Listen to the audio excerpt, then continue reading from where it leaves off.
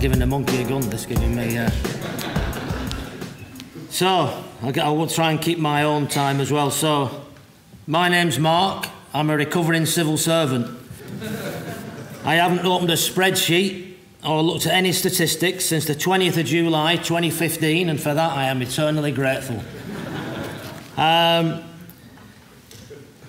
I, I was going to use a PowerPoint, but then again, I'd, then I'd start lying, you know. Um, because if I've got PowerPoint, I'm not having a disrespect to anybody who is subsequently going to use PowerPoint. Um, but the tendency is, having been in this business for a long, long time, I came into the world of uh, addiction in inverted commas, alcoholism in inverted commas. If I use addiction or alcoholism and it offends you, then think your own term. Uh, I'm trying to use substance use disorder, which I agree is the correct term to be absolutely specific about the thing, but I'm afraid I'm a bit old fashioned and I'll drift back into addiction and alcoholism probably, so I apologise up front for that.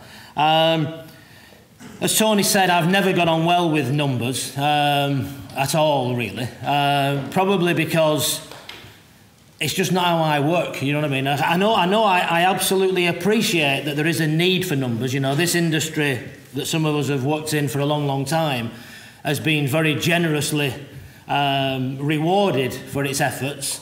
Um, I wrote an article, well, contributed to a paper a couple of years ago where we tried to track the investment in drug and alcohol and treatments in England. And it's difficult to find another area of health and social care that's attracted such funding so quickly. It went from when I, when I first came in, um, I always want to get the violin out at that point, you know, when I, we had nothing, you know, uh, but we had very little. Uh, when I worked at Lifeline as a volunteer and at the bridge project in Bradford, uh, way back in this distance of time, 1981, Sure, my age now. Um, but we didn't have much money at all. And then I remember we got the Central Funding Initiative, which was, from memory, about 19 million pounds. And it felt like everybody had won the lottery. 19 million pounds, that's about 1983, on the back of the brown powder heroin epidemic. Uh, and then it went in a 30 year period, probably less than a 30 year period, to a billion. Yeah, so it went from 19 million in government funding terms is pretty much zero, really. Um, and it went from almost zero, a little bit over zero, to one billion pounds, there or thereabouts, in a 30-year period, which is a, a phenomenal investment. Um, so that's a lot of money, and that money will demand that there are number targets attached, performance management metrics, to assure that there's a cost benefit analysis analyses can be done etc etc um, but that's as far as it went for me with the numbers really. Um, because I started I first I never even heard the term recovery until June 90 I've been trying to date this must be a thing about age. I can remember what happened 30 odd years ago but I don't know where I've left my watch you know. Um, but I, June 1995 was my first experience uh, of a, a mutual aid meeting. And uh, I became then um, variously engaged, professionally and, uh, and personally, uh, with this thing that we call recovery um, to this day. But I developed from the, although it's a, I won't bore you with my personal story, but basically um, it's been a long and circuitous journey. But the one thing that always stood in stark contrast to me is what I did for a living, uh, working in treatment, professional, medical, clinical treatment services. So I've worked in, I've worked in research, I've worked in policy, and I've worked in practice.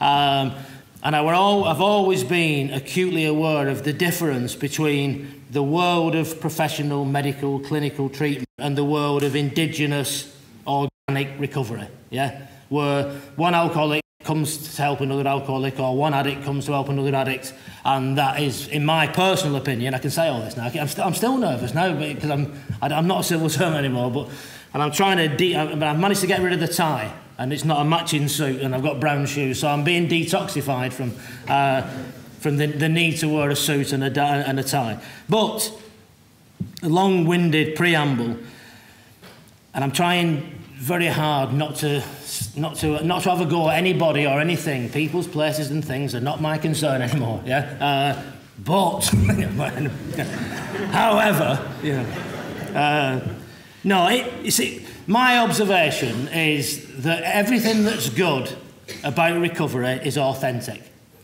So if I had to choose one word, you know the word diagrams you get, you know, one, one, one word for me, it would be authentic or authenticity.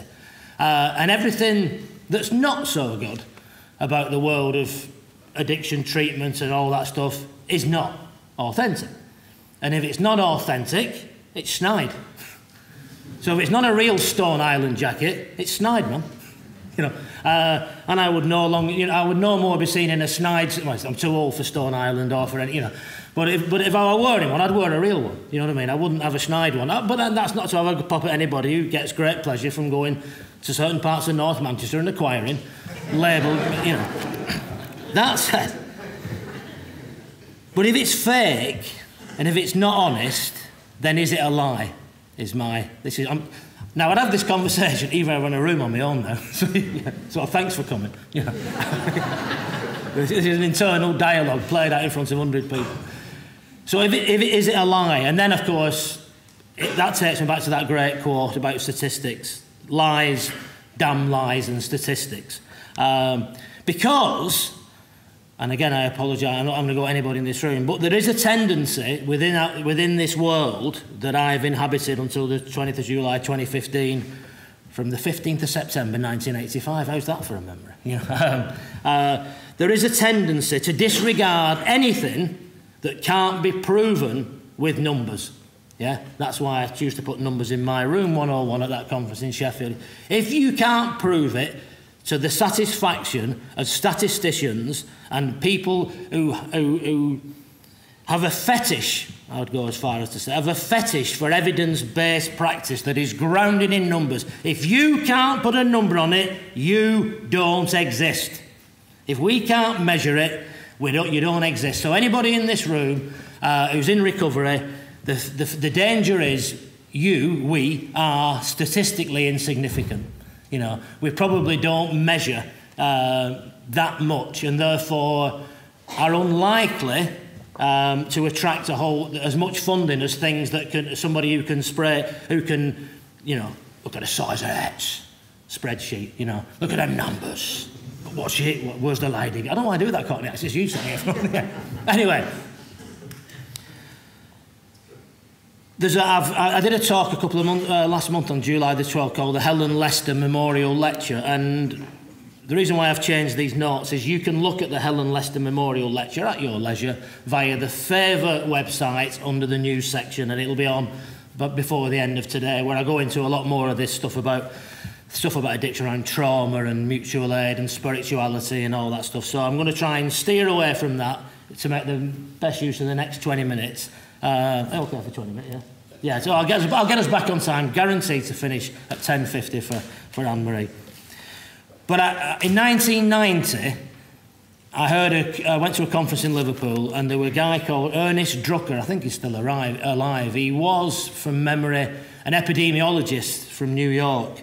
And he came out with a quote. Well, I think he came out with a quote, but um, I was tired and emotional at the time. Um, and he he said something like, uh, so I apologize, and if he doesn't claim it quickly, I'll, then I'll claim it as mine. but he said something like, we need, to we need to be able to taste the salty tears of the human beings who lie, whose lives lie behind the bald statistics of epidemiology. In other words, behind those anonymous spreadsheets and performance management metrics is somebody's mum somebody's dad, somebody's husband, somebody's son, somebody's daughter. They are people. Those dots on a spreadsheet, those people behind that bar chart, inside that histogram, underneath that pie chart, on that forest plot, you know, they are people. People who cry real salty tears, yeah? Uh, and we lose that connection at our peril. And that's my fear, is that we, we lose the connection. But, ever the optimist, uh, I know from knowing people in this room and who'll be on the walk tomorrow that we've got enough stories amongst us to counter that kind of therapeutic nihilism, if you will, uh, that says, well, you know, this is a chronic condition, it lasts a long time. It's characterised by relapse. Yeah, it is. It, you know, people do relapse tragically. Some get back, some don't. And therefore, it's a chronic relapsing condition. Uh, and like other chronic relapsing conditions, there is no cure. Maybe there isn't. Uh, and therefore, it gets very pessimistic in, in, in too many clinical medical treatment services. But we know in this room that there is a solution, that there is a way of, of recovering uh, from this seemingly hopeless state of mind, body, and, dare I say, spirit. Yeah? Uh, and it's real. But because we don't register often on the, uh, in, the, in the corridors of power all too often, then the danger is that we don't have a voice. But of course, we do have a voice and, uh, and we'll certainly be making it heard. I just want to know, it's called the academic perspective, but I don't really want to go into a great academic treatise on the history of ethnography and anthropology and blah, blah, blah, blah, blah, because we've got a real academic coming up later on. And I'm a blag artist anyway, so, you know. Uh, but I have read a lot of books, you know, I have read a lot of books. And I've always been drawn to ethnography. So what, what on earth is it? So basically, when we tell stories, yeah, to each other, um, we are basically engaged. Oh, well, so tomorrow, in fact, Liam at this presentation, I don't know what he's going to say, but he's going to talk about, um, you know, the, the ethnography of, of, of activism, you know, and, acti and basically what we, when we walk tomorrow, uh, however many thousand people will come together and they will walk along the prom, whatever we're going to do. Um, and there will be conversations taking place in a natural setting. And what anthropology which I would argue is the kind of parent of ethnography, is basically what Ernie Drucker said, tasting the salty tears, getting alongside people, what's your experience, yeah? Not looking at their world through a spreadsheet or through a performance management metric, but actually getting into their world and living it. And if we don't do that, then we run the, we, we, we run the risk of never really understanding what on earth we're doing. I'll give you one, well, not one, I'll give you a few examples. John Booth Davies uh, wrote a book called The Myth of Addiction. And it's a fantastic book. It's one of the, you know, like Desert Island Discs. If even Desert Island addiction books, that's one of them. The Myth of Addiction. Controversial title. But what he, it uses discourse analysis. But basically, and it's not technically an ethnography because it's about conversations, but it's an illustrative example of how things can appear very different. Very briefly, what he did, he administered a questionnaire to a number, let's call it 20 because I can't remember. He, he asked 20 heroin addicts from memory into Gla in Glasgow to come into his office and to be, have a questionnaire administered to them by Professor John Booth Davies. Well, he had a dicky on or whatever, but he was certainly sat, probably sat behind a desk, yeah? Yeah, so how did, and he asked them 20 questions and they answered. Right, bosh. And then what he, when he's doing a presentation, he always said, and then I put it onto a spreadsheet, and then I put it overhead projectors and then Then I put it onto an overhead projector, and I made a pie chart. Science. There's science now. 20 conversations, there's science, yeah? And if you know, and then he said, just a bit, just for, then what he did, he got, he took the same 20 questions, yeah? And it might have been, don't quote me on the 20, but the same kind of questions, and he asked a young qualitative researcher, a younger ethnographer type, to go to those 20 people, but not bring them into the University of Strathclyde office to see a professor a doctor, on the, in their gaff, and where they live, on their territory, where they determine what time you're coming, how many, how many hobnobs we're dunking. You know, they, well, you basically you go into the, and they ask the same 20 questions, and guess what? Fundamentally different answer fundamentally different answer about why they did what they were doing. Why would that happen? Why would it be? Is, not, is a heroin addict not a heroin addict, not a heroin addict? No, they're not. They look very, it's like in uh, triangulation. You know, if you look at a hill from one angle, it looks like one thing. You look at it from another, it looks slightly different. You look at a, a triangle. If you, and one of the things he said, there's one, it, it I'm paraphrasing now, but he, I love the quote. He said, It appears there is one very clear way of never getting methadone, asking for it. never, ever, ever ask for methadone if that's what you want.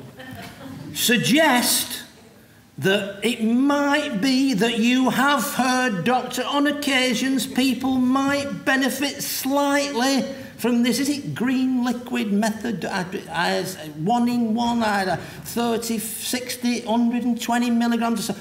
That'll be methadone. I can help you. Because then what you've done is you've, been, you've become the patient that allows the doctor to help you.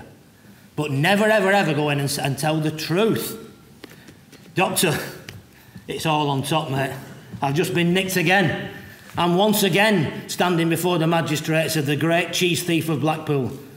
Once again, I've been caught liberating Mach3 razors, bacon, steak, selling it in Wetherspoons at 0901 to a rapacious audience, all too hungry for a cheap steak, yeah, in order that I can replenish myself with a bag of heroin and a, and a bottle of white cider that's never seen an apple.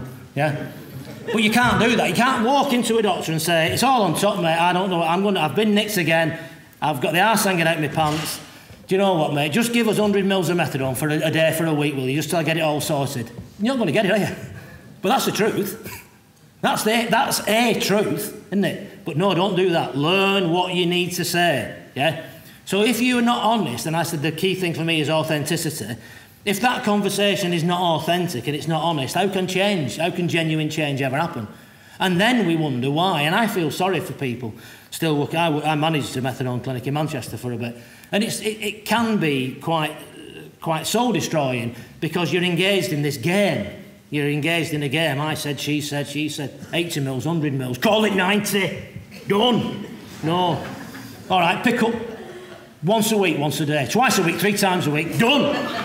I'm having it. Now we've got it going on. Yeah. You know, and then by the time you've done that, filled your NDTMS, uh, NDTMS form and your TOPS form, it's time, it's time for Jeremy Kyle.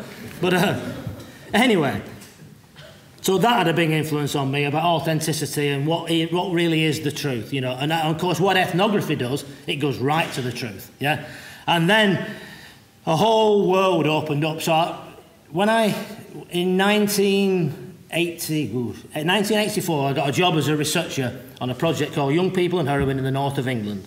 And I got the Northwest, talk about audacious ethnography, you know, like, what's my job? Your job is to go out to heroin addicts around Greater Manchester, Merseyside, South Yorkshire, Lancashire, and find out what's going on. That's it. No questionnaires, no spreadsheets, no nothing. Just go and hang out with them and see what's happening. Yeah? well, great, you know. Um, so that's what I did. And we didn't so we read, you know, when you're doing a research project, you do the literature review, do, read all the literature, all the, what all the numbers are, and all that, and it made no sense to me whatsoever. Because I'm thinking, hang on a bit now. So then, so I'm living in this council. I'm, I was born on a, in a paper shop on a council estate, violin time, yeah, that, that was regularly a victim of uh, heroin addicts, you know, for burglary and theft. And, you know, even then, they weren't that good at it. You know, it were, um, you know, they were never going to be on uh, Britain's best criminals. Because you know, those of you will know, like if you've got a heroin addict living at number 17, once they've sold all their own gear and their own boiler and burnt all their own wire off in kitchen, then it's 15 and 13 that are getting it next. You know, or 17, 13 and 19. You know, so you don't need to be a great criminal mastermind to work out that the, you know, a particular crime epidemic is down to a relatively uh, vociferous bunch of heroin addicts. So, but that's my background as criminology, so I, I, uh, I discovered that. Lo and behold, I discovered that. But um, it didn't make any sense, you know, because if you'd have read the literature, you would have thought people are taking heroin, uh, they're pulling the curtains, they're, they're riddled with existential angst, which they may well be, uh, and they're not, they're not engaged in anything. They're withdrawing, man, they're withdrawing, they're turning off.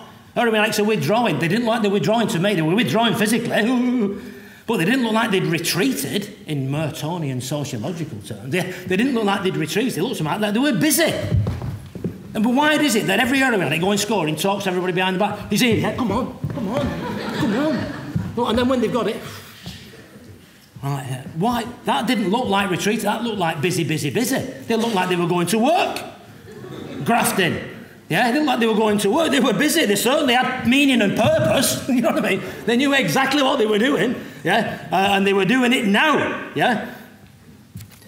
So then I thought, well, this, and so I used to go back to university and say, don't make no sense to me, any of this. You know, they're meant to be withdrawing, the, you know, they're wandering lonely as a cloud, as Coleridge, or Wordsworth, or Byron, and all that, and they've embraced opiates to deal with their ex- existential. They look busy to me. They look busy grafting and scoring, and then we found a paper, it was like finding gold, at the Institute for the Study of Drug Dependence from 1969, Preble and Casey, Taking Care of Business, an ethnographic account of the heroin user's life on the street. And it was, it was just like that, boom, that's what it is. That's exactly what it is. And it was a guy, again, I think in New York, who spent time with people and said the thing about heroin addiction, and this is what we were researching at the time, is that it gives you something to do. It fills time. There is no, and, and that sent us on this journey then back to 1930s Austria and another ethnographic study by a woman uh, called Marie Jahoda, the Marienthal Cotton Studies, where she, an ethnography looking at the impact of mass unemployment, the first experience of mass unemployment in industrial capitalism, yeah, 1930s, arguably the first experience. And she found that phenomenon of men leaving the home in the morning. They'd been sacked, there were no job, but they left their home in the morning with the sandwiches and sat in the park nine till five, then went home. Yeah, because their lives had been structured by the factory and time discipline. When we all, I'm not saying that we had great fun before the factories and before we were all sent into the, off the land and into the factories, but at least we didn't bother with clocks. time, careful now, this, is a real, this could really bore you to tears, but time, pursue this at your leisure, is a relatively modern concept. Nine to five and all that shifts, six to, two ten night. Well, what, what happened to just, it's November, I'm getting up at 10 o'clock.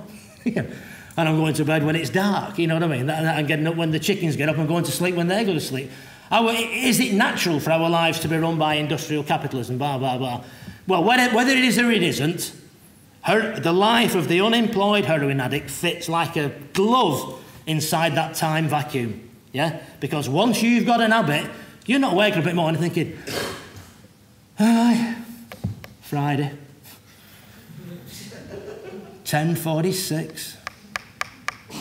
Bloody hell. What are we going to do? No, no. Up. Yeah, yeah. Now, who might have left a laptop on that car park? Which sat nav shall we be? Or, while we're waiting, let's make our way to the nearest supermarket and liberate some cheese. or some bacon. Bacon's always a good one for a bag. Yeah, big thing of bacon. Or, uh, you know, and on and on and on. So, up, out, first up, best dressed, scoring, grafting, scoring, grafting, scoring, grafting, scoring. Stop. Go grafting, scoring, grafting, scoring, grafting, scoring, stop. And then the next paper from Messrs. Preble and Casey, which is the one I'm nearly going to finish with, is their subsequent observation of what happened when you applied methadone maintenance to that scenario. Yeah? What happened? So here we've got busy, busy, busy, busy, busy, lots of victims of crime, grafting, scoring, grafting, scoring. Put them all on methadone. And a good idea. No, I'm, you know, there's a lot of working class victims of working class addicts. So put them all on methadone. Now, the, the hope was put them on methadone. They won't need to do all the grafting and scoring to buy the heroin because we're giving them methadone as much as they want. Bucket and a straw if you want. There you go. Have as much as you want. All we ask is you keep your grubby hands off that bacon. Yeah? And my sat nav in his house. Yeah, that's the deal. That's, it. oh, and by the way, don't share injection equipment, will you, and start spreading AIDS and stuff like that. Yeah, so we'll give you needles for that. So stop thieving and stop spreading bloodborne viruses, and we'll put some money into it. Fear driven funding. Yeah, fear driven funding. Now, did it happen? Did those heroin addicts, when they were given the methadone, say, Oh, I think I'll save up and send my kids to college? I've got all this money now, my benefits, don't need to spend it all on that. I think I'll, uh, I think I'll save up for uh, an Encyclopedia Britannica. you know, they didn't. They didn't. They bought Thunderbird wine. The 1977 New, York equivalent of white cider. Yeah, that's what they bought, Thunderbird wine. So the paper, their paper is called Methadone, Wine and Welfare. So what happened is we turned unemployed heroin addicts into unemployed methadone addicts. Yeah?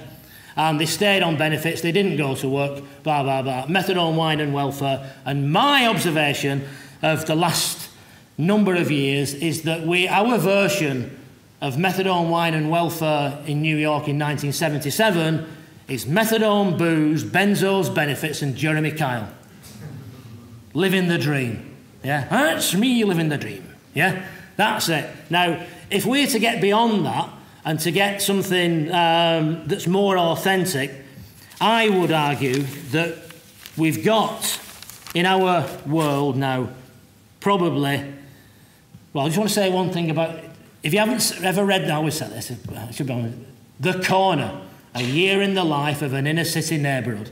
The, for my money, one of, the, one of the best books ever written about all this stuff, man. Yeah. The Corner, a year in the life of an inner city neighbourhood. It was what gave us The Wire, the seminal TV series The Wire in the hood, mother. Yeah. Co- the corner, a year in the life of an inner city neighbourhood. It's our, it's our f- present and it's our future. Yeah? But for me, the best ethnographic study of this condition that, that we're trying to address today is the Big Book of Alcoholics Anonymous. Because that is the story of a hundred men and women who recovered, not recovering, by the way, footnote, who recovered from a seeming, seemingly, therefore it might be, but it's not, from a seemingly hopeless state of mind, body, and I would add spirit. And that book, published in 1939, every time I read it now, seems more and more relevant as an ethnography par excellence. Maybe worth mentioning in that context, only one other book, and that would be the Bible. Thank you very much.